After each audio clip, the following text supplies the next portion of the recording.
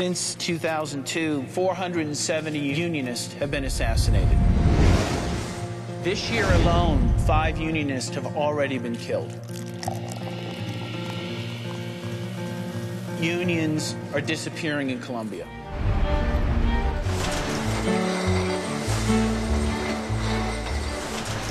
The world of Killer Coke is in Colombia, where Coca-Cola bottlers are involved in the systematic intimidation, kidnapping, torture, and murder of union leaders in efforts to crush the union Sinaltrainal. As the new leader of this company, I came to the Colombia issue with an open mind, and I, independently, have come to the same conclusion as a Colombian court that the allegations are not true.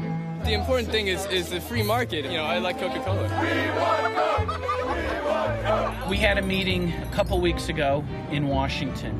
Uh, Coke called the meeting, and the meeting didn't go well. It was insulting. They said because these plaintiffs are Colombian, we have to give a discount.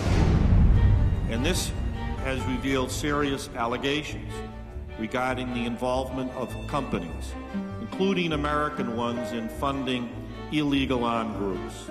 La Coca-Cola está acusada de utilizar paramilitares para asesinar ocho sindicalistas colombianos. Si hoy con una campaña montada, con una compañía sentada en Atlanta, que es la casa matriz, están haciendo lo que están haciendo aquí, el día que eso se nos matan.